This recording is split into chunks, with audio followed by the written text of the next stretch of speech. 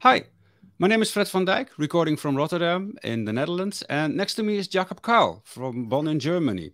And hi, Jakob. And Jakob is going to tell us more about the upcoming Beethoven Sprint 2023. It is, will be held in Bonn, and he will be organizing it with his colleagues and also his chef, Timo Stollenwerk. Jakob. Yep. Hi.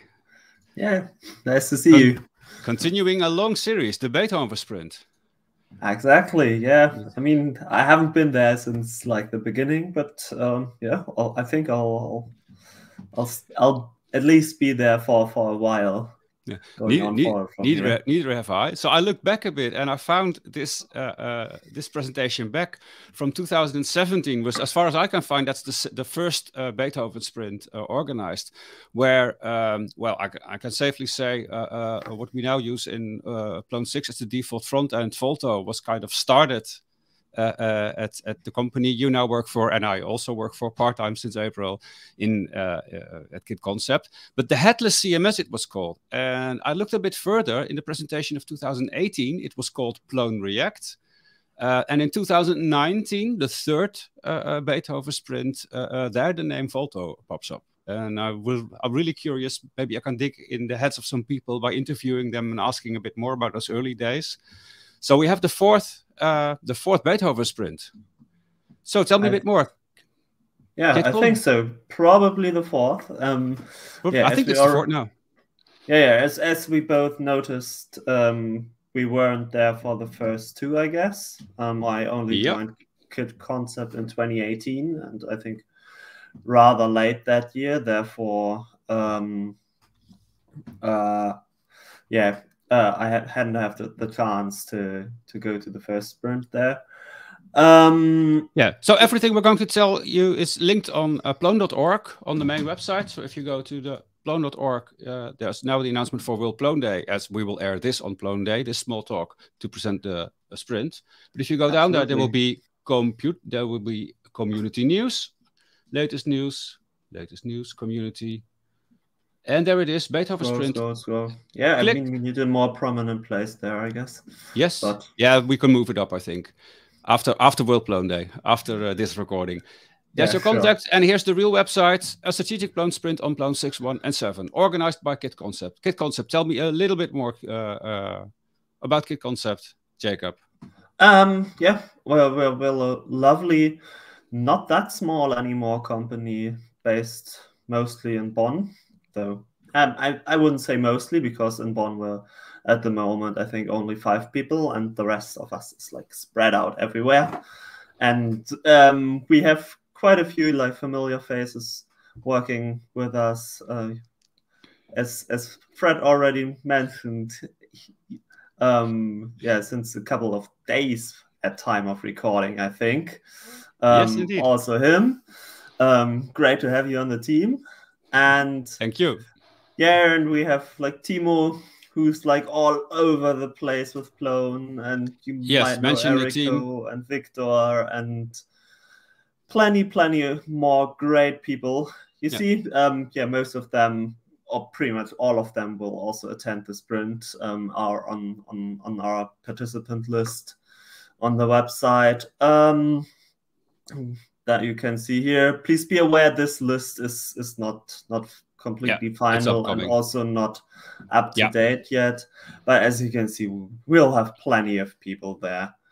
Yeah. Um, also, yeah, now that we're looking at the website, shout out to to our great sponsors, Plone Foundation, RedTurtle from Italy, and Web from Romania, who'll send over their best guys to also uh, yeah take part in the sprint.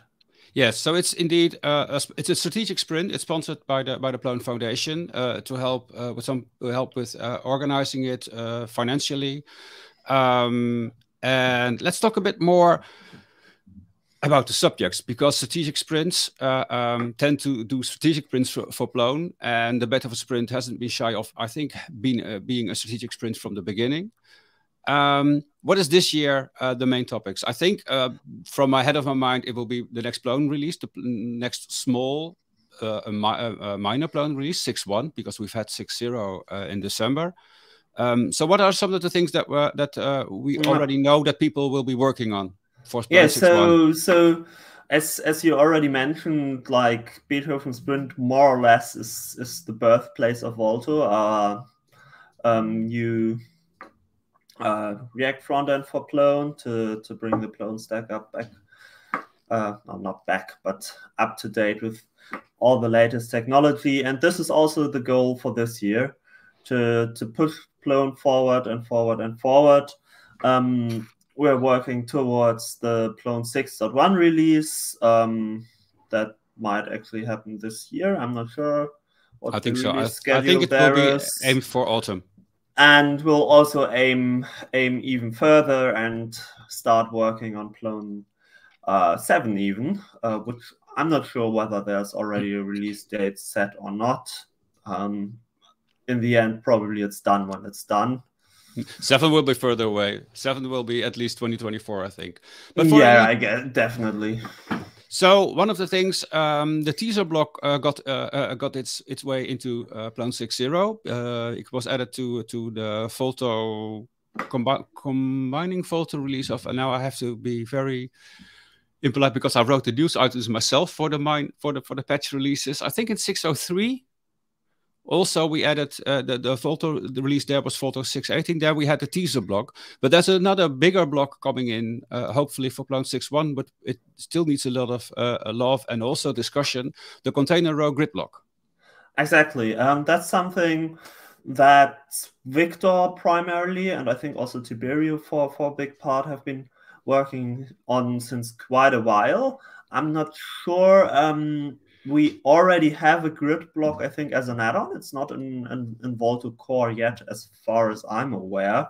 Mm-hmm. Um, and yeah, the, the grid block was, was was a great addition already to Volto because it yeah does what it says. It allows you to create grids and deviate from this standard one column layout that we have. And now the plan is to um, take that thing even further and uh, yeah, create more complex grid-like um, layouts uh, that also uh, yeah support rows and therefore make um, responsiveness way more easy.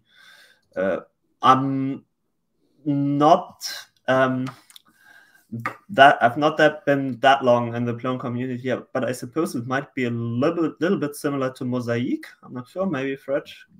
Yeah, well, we've had we've had a lot of uh, a lot of uh, uh, uh, composite page editors, as as I I, I called them uh, uh, after a while. We, we, did a we did a podcast on them. I think somewhere yeah last year where we discussed four or five, and in, indeed Mosaic was one of them. And now Volto Volto has this this normal this this vertical storyline within the blocks layout and the block and the grid block, but also other uh, add-on blocks that have been uh, created before the last three years can allow you to go sideways or do indeed more interesting thing or insert whole grids and uh, change things there. Uh, so that's one one big topic. Um, another thing I saw coming back from Plone 6.1 is uh, the Quanta toolbar. Uh, Quanta was already something that Victor, as the Volto release manager, already presented one or two no two conferences ago i think at the first uh, discussion there was already in 2021 and yeah, he presented think... he, he, presented much more at at the conference in namur um, and what I see now is that uh, at least part of the Quanta experience, the toolbar, is also aimed to to hopefully arrive already in Plone 6.1, which uh, needs some work. And then the big Quanta stuff, uh, uh the whole picture, uh, will hopefully be uh, be a part of Plone 7. Exactly. Um, the yeah yeah as you mentioned quanta is the whole new theming story complete rework of of the Plone front end theme by uh, made by albert uh, what's his last name uh, casada from my heart from heart but Casado. Casado. Casado. Casado. yeah, actually, a, a great thing um, is that he'll actually be around for the sprint. Um, oh, cool we we haven't seen him in quite a while because he's a busy person. But um, we managed for for Beethoven Sprint because we really want to push not not only the development side but also like strategic planning and the yeah overall layout discussion, we actually invited Irene Escudé, who also worked for for a bit on on Volto, as far as I'm aware, and Albert Casado, who who was the original creator of Pastanaga UI, which is the basic theme that we use for current in Volto. now. Mm-hmm. And yeah, also Quanta, which is really exciting to to get a complete whole new theming story, way more streamlined. Yeah. In there. So then yeah. we have like like two big ones. Well, another one I I I I really uh, look look forward to is the Plone distributions. Um, which we um, started, which we started in Innsbruck because I think that Beethoven is like the second in year a big strategic sprint. We had the first one uh, in Innsbruck in February, where also a lot of uh, work was already done in uh, on Volto, like the teaser block that got got merged into in the Plone 6.0 series. Um, so Plone distributions will be part of the story. Like, can we? How can we? Can we indeed create also Volto uh, distributions uh, uh, with, with, uh, uh, for example, for demo sites and for other stuff set up? Can you mention some other things that people have already uh, given you information they want to work on? Um, yeah, let let me have a quick look at our our list. I think we already went over over the big points. Yeah, one one thing that we always need to mention is sprints are not all only for development and talking, but also documentation, documentation, documentation. Steve already um, uh, yeah, added himself to, to the list of remote sprinters. And as we all know, uh, yeah, he'll do his best to kick our asses to, to get the documentation and training um, part progressed. Um, so we'll definitely plan to uh, work on that as well. Then there is um, the upcoming Google Summer of Code this year, um, where yeah, once again, that's also um, we have quite a few projects proposed um, for Plone, and I think at the sprint, um, yeah, we'll take first steps to to get them going. Um, I'm not sure about the deadlines and schedule there. If we'll already have like the final selection of candidates um, by the sprint, I think so. There's very some interesting um, topic G for Google Summer of Code, like modernizing the data fetching API. I see here uh, now Volto is is tied to uh, uh, to using Redux, uh, which was started exactly. from the beginning. And this is what I understand. I'm I'm not an expert here at well, but it is an alternative or a more flexible, generic way uh, instead of using Redux technology? Um, yeah, exactly. Um, wait a sec. What was it called? Um, yeah, I forgot oh, the name. I have to click the link. Um, another... me mm -hmm. as well. But there's better stuff. Um, give me three seconds. We'll we'll I'll figure it out. Yes. Well, another uh, G, I'll talk about another GSOC one. Uh, indeed, uh, React moved uh, already some years ago to uh, uh, offer to, to move to functional components instead of the class-based components, and that's also a Google Summer of Code subject that will probably also be touched at the sprint. Um, yeah and as you said, uh, Jakob, it's documentation, documentation, documentation, but it's also documentation about our roadmap, uh, which will be another uh, important sprint topic uh, in May in the Beethoven sprint. Uh, getting uh, our roadmap freshed up, getting indeed people talking about what should be in Plone 6.1, uh, should there be a Plone 6.2, or what's, well, and, and indeed what you said before, Plone 7, will it be 24, 25? Um, so those things are indeed stuff that we uh, uh, we normally it's it's coding and it's documenting and it's designing small things, but these strategical things uh, happen at uh, at sprints like the Beethoven sprint. Exactly. I mean, it's always like better to to to um, take those decisions in person than yeah. um, only remote. So always lovely to, and to as we meet up as as people. And as we found out the hard way, doing this uh, these the kind of discussions uh, remote only is also uh, uh very tough. Indeed, I mean we we had we had almost or pretty much two years of that already. So. Let's. So to mention a few other topics that people want to work on, uh, there's talk about the relation control panel, which is already in the Plone 6 Classic UI one, but it's since it is uh, a lot of control panels are automatically converted and available in the Volto front end. But if there's special uh, UX uh, on the on the on the screens, you need to do extra work. So the relations control panel will need some love for that to work. Uh, people want to work on improving drag and drop support, uh, sitemaps. Uh, if you start doing really large websites, like uh, you have with some customers at kitconcept that are really large intranets, research portals, and other publication sites for really big institutions, then your sitemap uh, uh, is breaking down. So also I've heard. Indeed, so that's indeed. indeed. something that has to be worked on to allow very large sites to have a representable yeah, exactly. sitemap. I mean, that's what's Plone tailored for big sites, right? Yeah. That's what, also what we need to support, but you only find the edge cases if you start using them. Exactly. And uh, and very interesting uh, uh, topic I also saw here.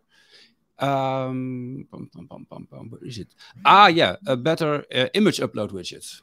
Um, yeah, uh, I mean, I more or less implemented that in in Innsbruck already. Um, based on code from Victor and to Tiberiu, I think. Um, but that still needs some polishment. Uh, yeah, a little bit more love. I, cool. I have a little bit of a problem that that I like to do stuff on sprints and then it's like 90% finished and then I get home and I don't you know uh, you know the drill you don't find the time to actually sit down again and and finish it properly so so thank um, you for your um, confession. So there are 29 other people at the sprint that know that you're going to finish that image upload widget in May. I mean, I could also just maybe try to get it done before and surprise everyone. That's but, safer. That's safer. Yeah. Yeah. Sure. So you mentioned remote. Uh, Steve will be uh, uh, sprinting remote. Uh, others will be sprinting remote as well. Uh, it will be very busy. Uh, exactly. I, I think. Heard... I think at the time of recording, we're pretty much booked out already. Um, we have about 30 participants and are really like in a rush to somehow organize some more space around our office because uh, for those of yes. you who, are, who already have been there, uh, it's not huge. Um, it's a fine. To... It's a fine office for for a company like a concept with also people working remote. But indeed, if you start to organize uh, and people come, then it's and you have to find a space. I know you've done a lot of effort to search uh, for more space in the surroundings, ask uh, around at the university or other, uh, but it's really difficult uh, yeah, this yeah. time. At the moment, we we didn't have luck with that yet. Um, current plan is because we have a lovely garden at Bonn. Uh, next to our office. Um, if we have good weather, we'll just do most of the sprinting outside. And um, currently, we're preparing like like a big tent as as a backup for yeah. the garden. So that will hopefully work out. Um, yes, I've been. Yeah, I, I know. I know. Like we we're a lovely community, but does not need to get too cuddly in there. No, no, no. I, last year the, the, the, the garden was great, but indeed we were lucky with the weather. So uh, plan indeed. B to have it to have a tent indeed for backup uh, sounds yeah. like a plan because then we can really uh, use the space and and be with 30 people there. But in, yes, indeed, unfortunately, it it will be very difficult more. So remote sprinting is possible and. Uh, knowing from your equipment and and the motivation there, we will do our best to to accommodate remote sprinters as much as possible. Absolutely. So yeah, if you if you still want to take part in the sprint and um, yeah want to contribute to um, to the further PloneConf uh, development, feel free um, yeah to to just approach me or any other of the sprint organizers, namely yeah Timo, um, and ask to be put on the list for remote sprinters. I think most of the remote stuff will will happen via Discord during the sprint. Um, if there are any changes, we'll let you know in advance. Um, yeah, we'll have like daily stand-ups, uh, daily wrap-ups, um, depending of exactly. for your time zone, uh, and we'll try to have people uh, also online monitoring the channels and uh, grabbing people uh, if if there's a, a question from a remote sprinter or or the other way around. Indeed, indeed. My idea was maybe to pick one or two people from from the organizers team who who will yeah regularly check if everything's all right with remote sprinters so no one feels left alone somewhere also um, yeah what i wanted to mention it's it's not really the first time that we have plenty of remote sprinters because um, i think it was the last sprint that was um, oh that's true. Dual, this was last year. with uh, with the people in bucharest sprinting as well. So so we had like a double sprint in bonn Bu- bucharest Yes, that's um, the Eau de Web. The Eau de Web office in, in Bucharest exactly. was the second one. Yes, we had it on the last TV. Now, yeah. After a yeah, while, yeah. those sprints start to. which was that? That was that. That was only last yeah, year. Therefore, yeah, therefore, we already have quite some experience because yeah. when, when the sprint is completely split up between two locations, it's half remote for for each half, anyways. Okay, so wrap up. I think. I guess so. Beethoven Sprint, May 18, May uh, May 15th, and I should be with May 15th. Monday is the traveling day, right? So the sprint, fully, um, the, the, full thing starts at when at, at Tuesday, and people are, can I start so. and I mean, mingle and arrive on Monday. Anyone who, who who gets there on Monday can already start. We'll be around at the office. Um, I'll tend so, to travel. I, I, plan to travel on Monday, but the real, the first stand okay. up and the real big planning, I think, will be then be done for on, on Tuesday morning. I guess so. Yeah. Yeah. Yeah. All right. So, to you, last words. Um, yeah, I'd, I'd, uh, usually I'd say please all come and attend, but uh, yeah, as mentioned, we are already quite packed. But please uh, join us online, and maybe we'll will be the biggest sprint in Plone history. Probably not because they're like conference sprints. But, yeah, that's yeah. hard hard to beat a conference sprint, like for example Van der Muur. But indeed, one of the strategic sprints, uh, Beethoven has been very important and will be very important. If you look now at the subjects, it's certainly something not to miss. Uh, either uh, on site, live, or uh, joining us remotely uh, uh, from May 15th to May 19th. Okay, Jakob, thank you so much for presenting, for talking about the sprint, and see you there next month.